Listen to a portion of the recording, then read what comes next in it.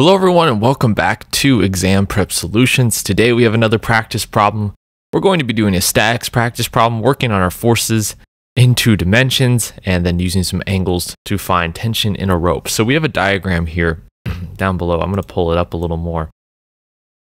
You can see it. So find the tension in a rope T1 based on the diagram seen below. So we have T1, T2, those are the different tension values in the rope. We have a 45 degree angle and a 30 degree angle, and then a 5 kilogram uh, mass here that's pulling both the ropes down. And so we want to find the tension in this rope here, T1. And so how do we go about doing that? Well, we're going to want to solve the forces in the x and y direction and then use that to find the tension in the rope. So let's begin. So if we want to solve sum the forces in the x direction, equals. Now let's think about this here. We have T1 and T2. Those are forces going in the x direction. T1 is pulling in the negative direction.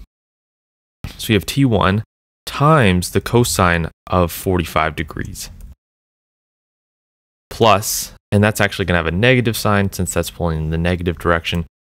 Plus here, we've got T2, and that's going to be times the cosine of 30 degrees. So those are the only forces going in the x direction. The 5 kilograms is in the y direction. So if we go sum of the forces in the y direction this time, well, we have that 5 kilograms going down. Now remember, that's just kilograms, not necessarily um, uh, newtons or force. So we need to times that by 9.81, which is the value for gravity. That'll get us uh, the newton value. And then we have T1 still. Now both of these are going upwards in the positive direction, working against that five kilogram force or holding it up, I should say. Then we have sine of 45 there. And then we're also going to have plus T2 times the sine of 30. These are both of our equations. Now we have two equations and we have two unknowns. That means we can solve for the unknown that we're looking for. Let me, let me spell unknowns correctly here.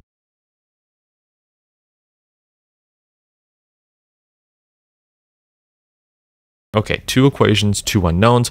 We're trying to find T1. So we want to solve the sum of the forces in the x direction equation, equation in the terms of T1 so that we can substitute it into the sums of the forces in the y direction equation and then actually find the value for T1. So here we calculate what the cosine of 45 is.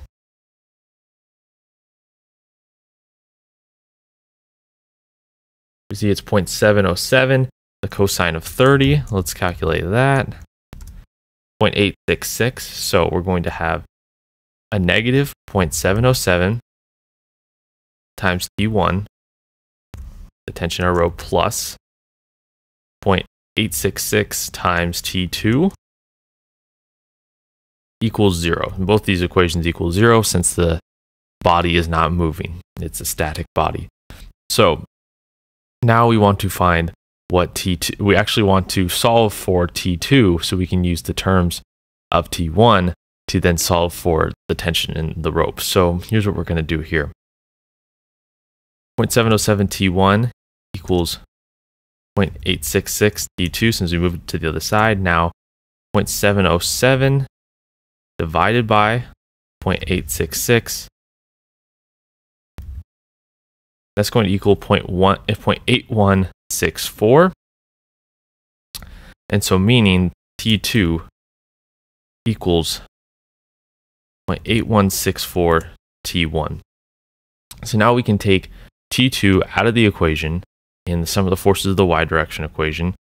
First, we need to calculate negative 5 times 9.81. That's going to equal negative 49.05. We have negative 49.05. Now we have plus. We still don't know T1, but T1, but we do need to find the sine of 45 degrees. 0.707 again. And now we know that the T2 equals 0.8164T1. There's a lot of math in this one. Hopefully you're following along with it. A lot of operations we need to go through. So 0.8164 T1. And then that's going to be time the sine of 30. And that value is, I'll calculate down here.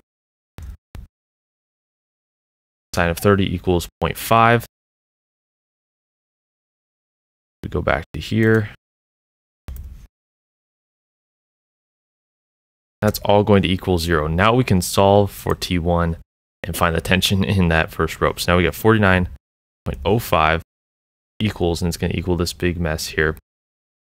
First, I want to see 0.8164 times 0.5 is going to equal 0.4, 0.4082.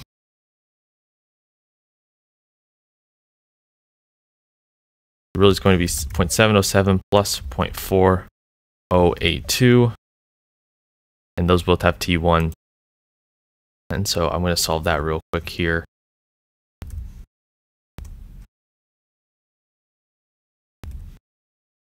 One point one one five. It's forty nine point oh five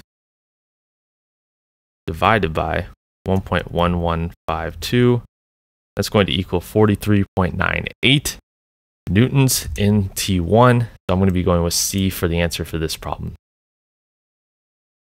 So there's a lot of steps in that one. We need to do is set up both of our force equations, making sure we're including the cosine and sine of each of the values since they have x and y components, finding the two equations with two unknowns, solving for one tension in terms of the other, substituting it back into the equation, and then just using some algebra to find the final value.